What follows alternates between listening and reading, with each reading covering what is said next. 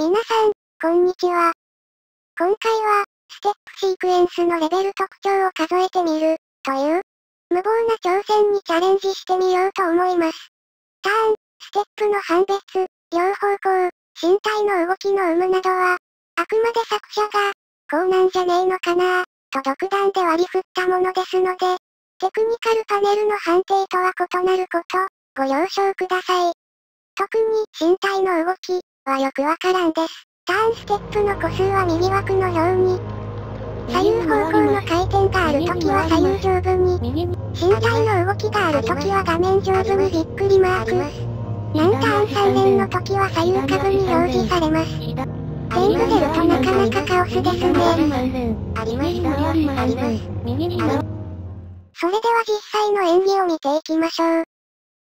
題材は、2016年 GPF 羽生結弦選手 FS です。50%スローで、コールするのは何ターンステップのみです。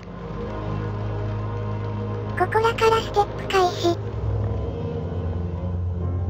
左フォアウト直投。右に回ります。右に回りま、あります。左フォアインブラケット。あります。あります。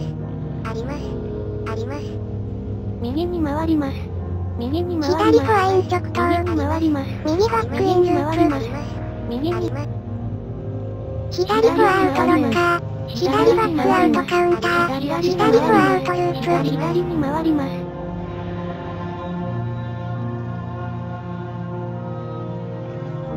あります。あります。あります。あります。右に回ります。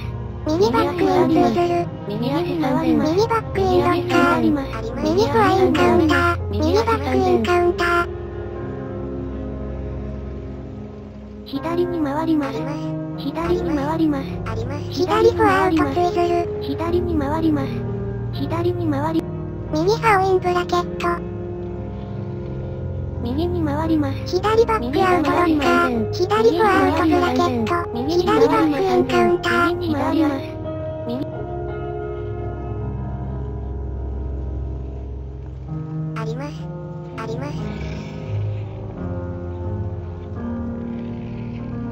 ます。あります。あります。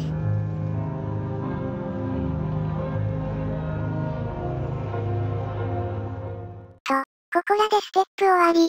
直投の CCW を見つけられませんでしたが、各種すべて2回ずつ、5種両回転、11回以上なのでコムプエクは満たしており、両方向、体の動きも、多分ですがざっくり3分の1以上はありそうで、3連も両足とも問題なさそうなので、レベル4は取得できてると思います。さっぱりわからん。と思われるかもしれませんが、テクニカルパネルでさえ複数で分担していることを、我々素人が全てオンタイムで判別できるわけがないのです。とはいえステップシークエンスの解説動画は、そのうち作ろうとは思っています。